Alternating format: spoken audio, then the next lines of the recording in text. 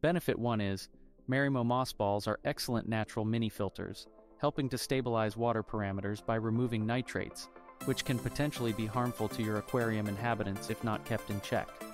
They absorb these nitrates and other waste materials and use them as food, thereby improving water quality.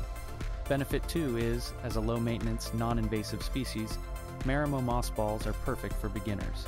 They don't require special lighting conditions, excessive feeding, or a specific pH to grow successfully, making them a stress free addition to any tank.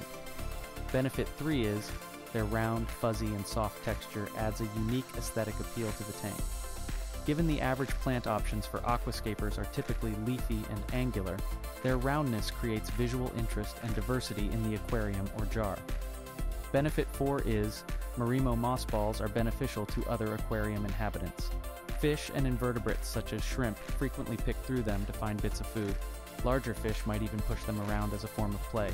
Benefit 5 is Marimo moss balls have a long lifespan and can even outlive your aquarium if cared for properly.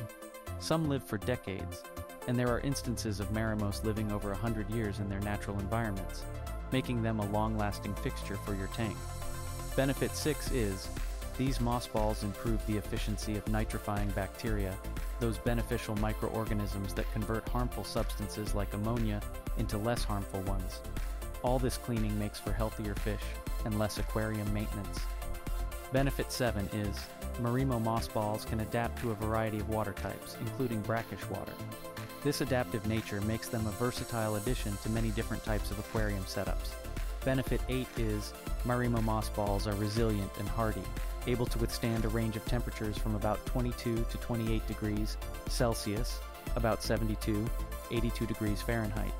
This means they can be suitable for a variety of aquarium setups. Benefit 9 is they can reproduce in your aquarium. Smaller moss balls can split off from the parent ball and form a new one. This way, you can keep the population of your moss balls stable or even growing. Benefit 10 is Marimo moss balls can act as a soft bed for some smaller creatures in your aquarium. Animals like dwarf shrimp can use them as a comfortable place to rest or even lay their eggs. Benefit 11 is these algae balls are excellent oxygen producers like any other plants. Their photosynthesis process can help to increase oxygen levels in your tank, providing healthier conditions for your fish and other living creatures in the aquarium.